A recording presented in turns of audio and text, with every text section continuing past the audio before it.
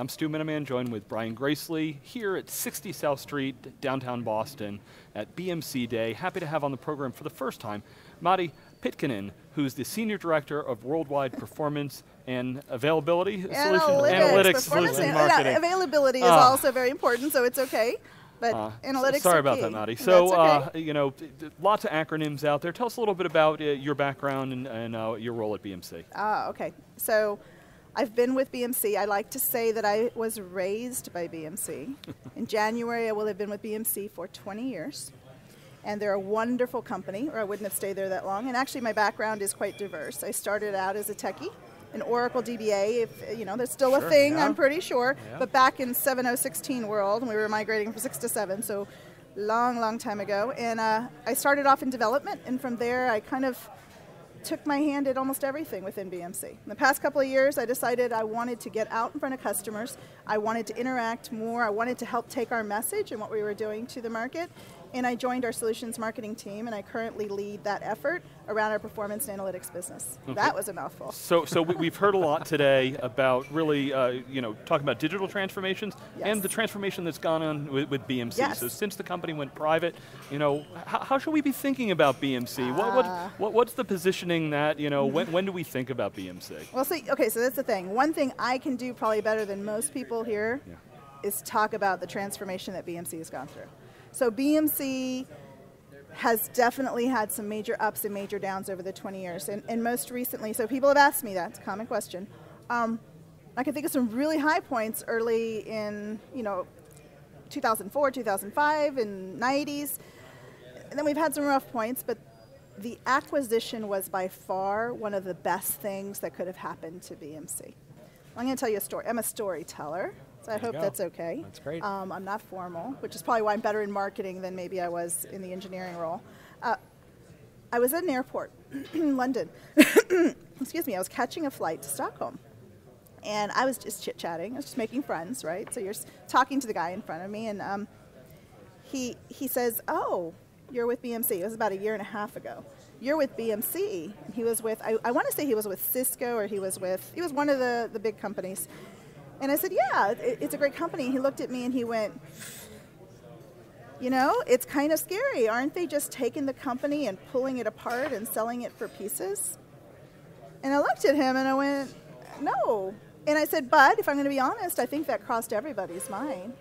What really they've done by going private is, is they invested. And all of a sudden, areas where we wanted to develop and get creative and do some things outside the box. I mean, you think about it, it's a risk. And when you have all these shareholders to worry about, it's a lot harder to take that risk, especially because everything requires funding. And I said, it, what they've done is they've taken tons of money and they've poured it into my group and in other groups at BMC, and all of a sudden we're, we're developing and we're innovating, and, and it's actually a very, very exciting time. So what I can say is, is those words are probably even more true now. And what we're starting to see are some of the, the fruits of that labor. We're starting to come to market. Um, we made a recent acquisition with TrueSight Pulse, and we took that to market in September timeframe.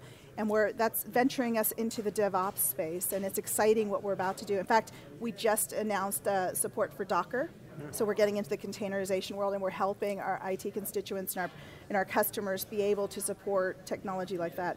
And then of course TrueSight Intelligence. And that's coming out at the start of the calendar year. Um, we'll really make a big push probably around end of first quarter, second quarter. And what that's doing is that's taking IT and what's become so critical to IT and allowing them to have that connection to the business and become, in essence, more intelligent about how they run their internal operations. Yeah. So you, you know, you talked about storytelling. Um, yes.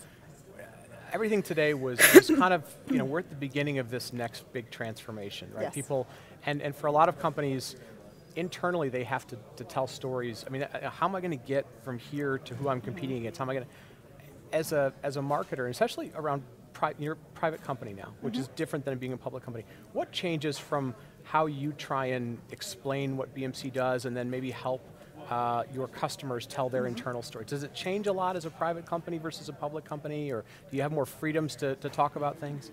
Well, I mean, I think we still have to follow the same rules sure. as everybody else, so there's you know, certain limitations still on what we can share and what we can't share. Um, as far as storytelling, what I would say is, is the journey is a different one. So it is very different in the sense of, I think in the past we were very bound with um, these are our solutions. We knew what brought in money, right?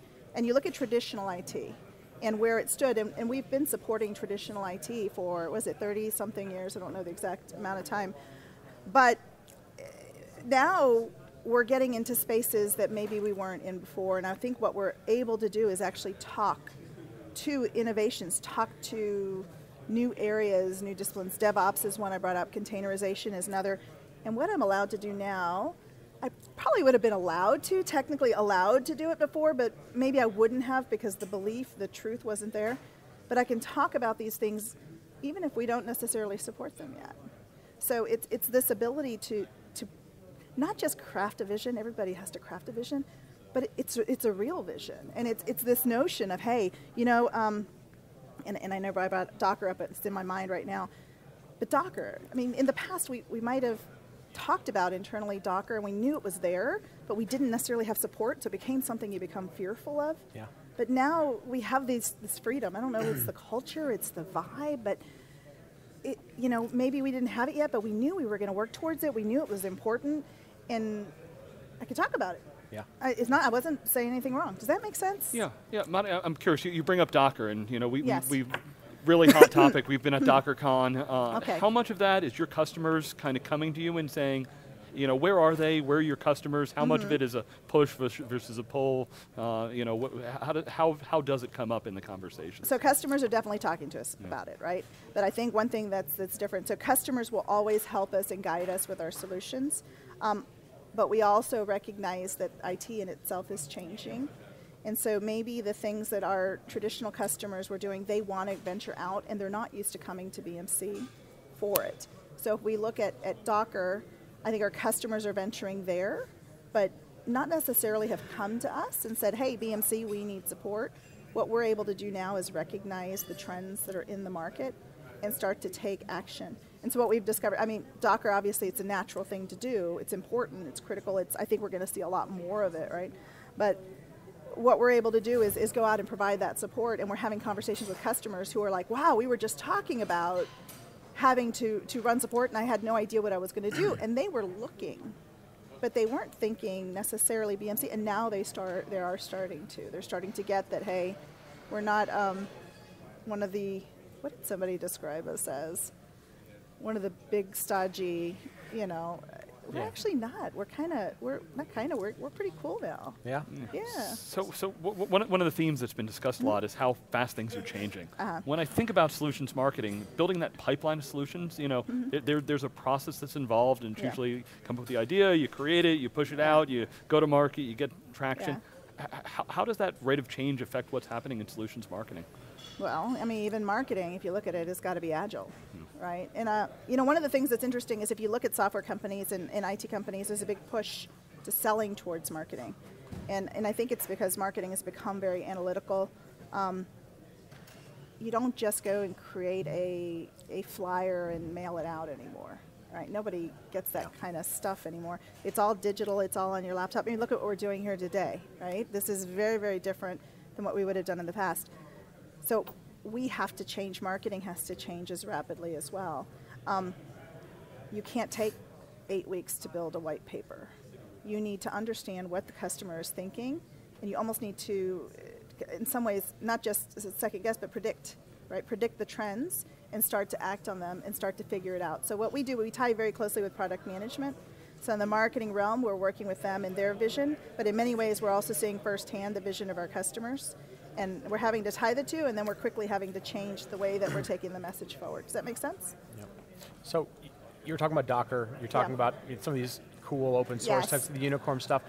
You know, if I go to you know an O'Reilly event or something, it, it's it's all open source. It's open Mm-hmm. Yes. source tools. It's open source.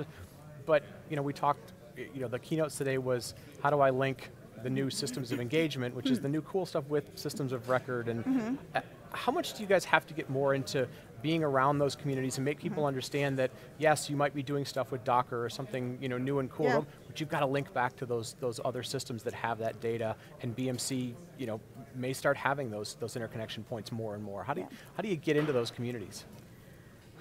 It's not easy. Yeah. Let, let me tell you, um, because we're not. We're, we're not traditionally thought that way.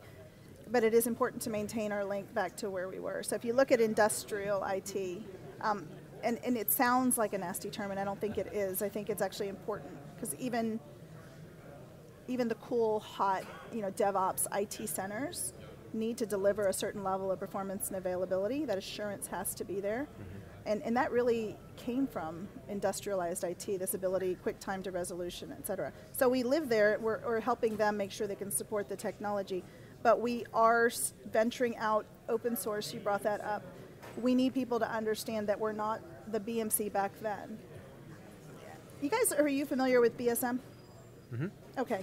So BMC, when we launched the BSM Business Service Management message and we took that to market, it was in many ways ahead of its time with this integration of all the components and the shared messaging. But one of the things that I think at the time we were trying to do was convince everyone that, hey, if you get BMC across the board, right, then you integrate everything and it's nirvana. Right one big thing that has shifted within BMC, and I can speak to performance analytics, I think I can speak across BMC overall, is we're, we get it. It's not going to all be BMC. Even if I look in the monitoring space, a typical company has, what, 30, 50 different monitoring tools that have just been pulled in and brought in. We have to think broad, broader. We have to take BSM. It's a great idea. You want everything integrated, but it can't be all BMC. And so we've opened our arms and we take integrations and we work with solutions, even some that our competitors are taking to market, and we have to. And I think that you'll continue to see that change. Right. And then open source, we've always used open source technology, so that's nothing new. But what I think you're going to start to see from BMC is us really giving back. Hmm. And we're starting to work on, you know, what, if you look at our intelligence solution, we have a lot of open source technology in that and it's coming to market. What can we take and we're working on, what do we take and give back to the open source community? And that's something we've never done before. So it will take time. Yeah, but a lot of big changes coming. It, well, yeah, but I think it's necessary. Excellent. All right, Excellent. well, Mari, I think that's a great place to end the uh, conversation here. Uh, thanks for sharing with us everything on performance and availability. Uh, analytics. analytics. well, you could say uh, it, it's okay. You know, you know what? in the keynote it said that uh, Bill, Bill's was uh, performance and, and, and, and, availability. Ah, analytics. You're fine. I just, thanks so much. I actually think it's just important, so it's okay. yeah, performance right. and analytics. Absolutely hu hugely important in what's yeah. going on. we'll be back with more coverage from BMC Day. Thanks okay. for watching.